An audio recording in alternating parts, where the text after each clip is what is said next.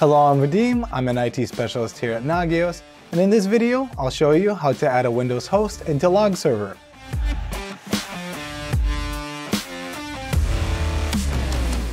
By having logs from multiple devices all in one place, you can save time and remotely view different parameters on your machine without the need to be present. By having these logs, you can be one step closer to solving critical issues before they become a problem. Let me show you. When logging into Log Server, we find a green button on the top that says Add Log Source, or we could add Windows, Linux, or network devices.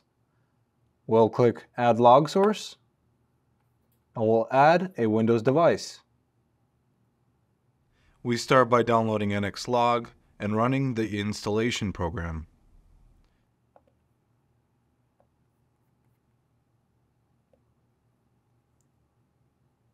We will accept the license agreement, install, click yes, and finish. Now it tells us to locate the file under program file 86, nxlog, config, nxlog.config. We will open File Explorer.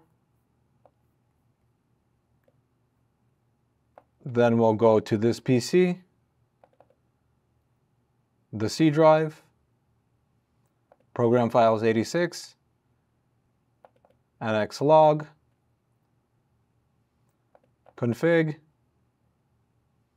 and nx log config. Here, we'll right click and edit this document. What we want to do next is delete all this text.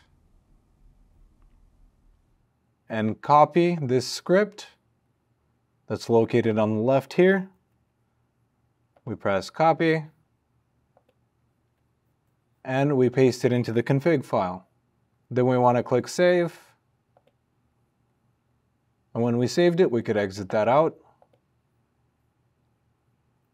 Then we want to bring up CMD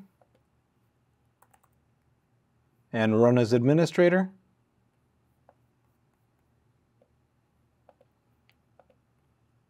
Then on the bottom, it tells us to start the service.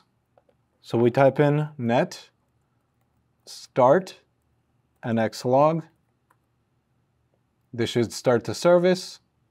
And now it has successfully started. Next, we want to find our IP using ipconfig. Here we see our IP address, 56.55, and we enter it on the bottom here to verify.